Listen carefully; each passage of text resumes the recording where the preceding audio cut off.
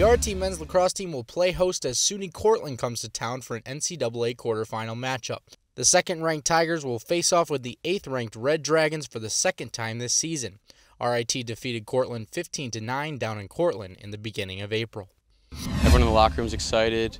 I mean, I know we don't want this thing to end. We're having a great season. We're having a lot of fun with each other, so we're kind of living to play another day here. The Tigers have won the past six contests between the schools, including two coming in the NCAA tournament. The last Cortland victory over RIT came in 2013, a double overtime thriller in Cortland. The Red Dragons will have their top two scorers, Devin Phelps and Thomas McNenny, who did not play in the earlier contest this season against RIT. We know they're a talented team.